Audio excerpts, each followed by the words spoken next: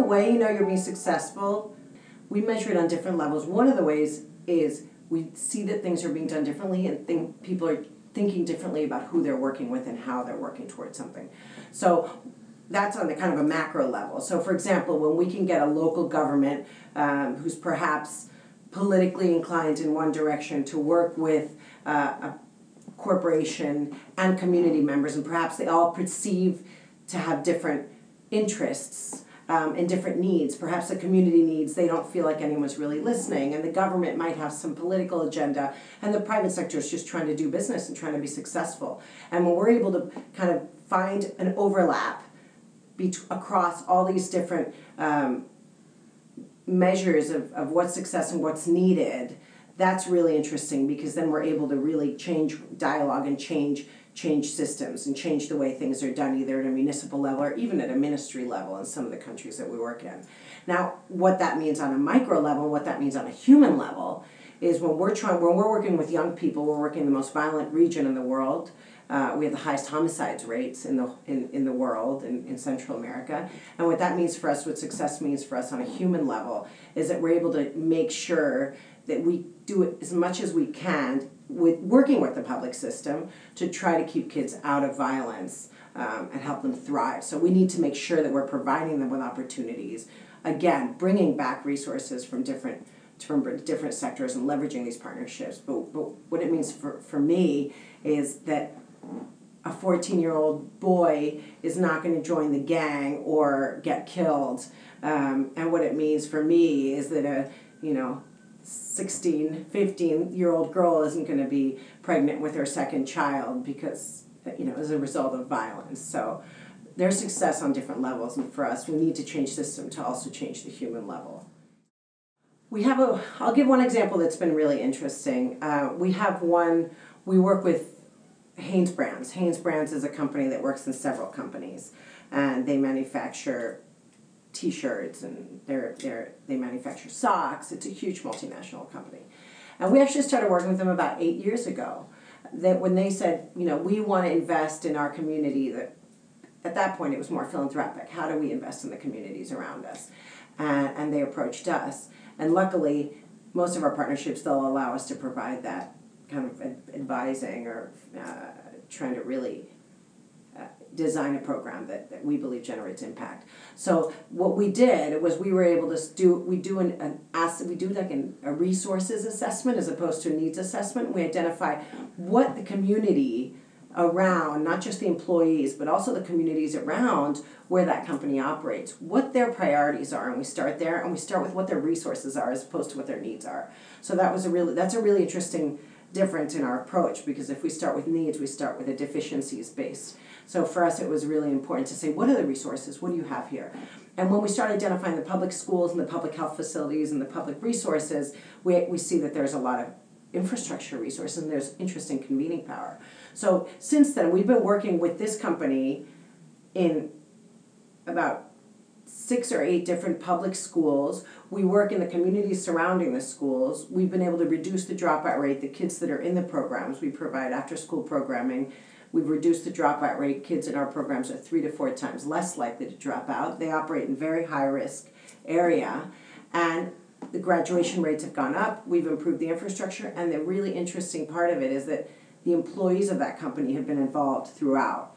They, regardless of their educational levels, because some of them have lower educational level, primary school, their employees have been involved throughout the whole process, volunteering in the schools, to lead programs, educational and enrichment programs for the students there. So the company's now not only been awarded several uh, prestigious recognitions, but also they feel much more integrated with the communities they operate in, and they've also been able to see over six, seven years what the differences in those communities and how these kids are really uh, being provided with opportunities that keep them away from the many risks that we face The communities we're working with, with Hanes and with the public sector, particularly with the public education system, are located outside San Salvador in a region in three or four different municipalities that are high risk. They have high rates of violence, and San Pedro Sula, also a city in Honduras with very high rates of violence. So they're they're very challenging communities to work in.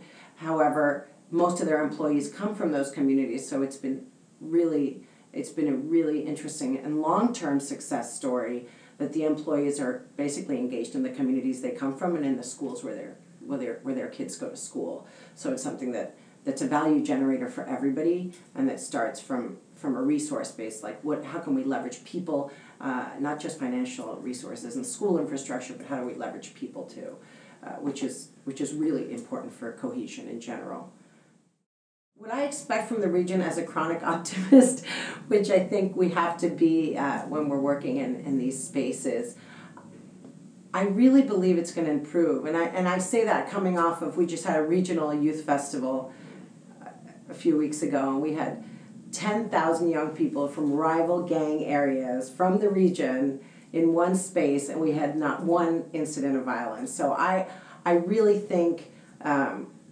unfortunately, we're at such a challenging point with the rates of violence and the rates of homicide that there's that it has to get better. And I and I think the way we do that is we we definitely build these partnerships and we invest in, in children and young people in a way that provides them with the opportunities for them to really drive their own development and make sure that they're able to to thrive in these contexts uh, in spite of the trauma and the adversity that they're facing on a daily basis in their communities and their homes uh, and in the country in general and the stigma that there is around around young people around the world. I think that the stigma that there is around young Central American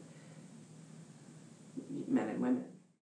The way to make these partnerships work across sectors and, and the challenge, because it is challenging in heavily polarized countries and regions, and it's finding, it's, it's bringing it to a very basic level of, of of empathy in order to find collaboration and I think of really good communication.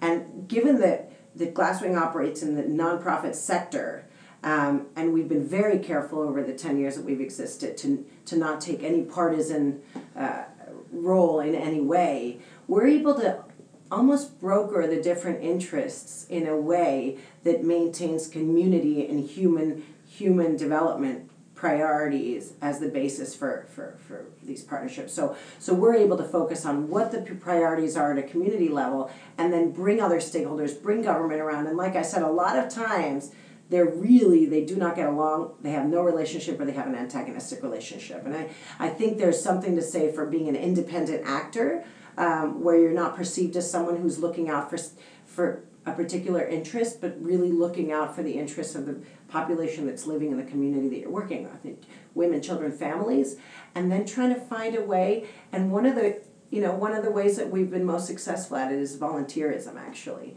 and a lot of times we'll have people who have never interacted because of political reasons or because of just different interests. And we'll have these big projects where we address some issue in a public school we build a classroom or we fix or we equip. And it's interesting how a volunteer project of a couple hundred people and you really strategically invite people who normally do not do not get along and how volunteerism has been a really really important vehicle for us for social cohesion and for communication and breaking down some of these trust barriers between between government and, and private sector government and community and these different players i think issues of transparency in that process are really important. And I, I, I believe that if you're able to bring up not only identify common ground, but really start trying to work with advising it, if I were advising a governor, really start working on transparency in general, in approaching issues, in disagreeing about issues, and it's okay, establishing more of a transparent dialogue, um, and, and, and in the process identifying ways to get to get common ground.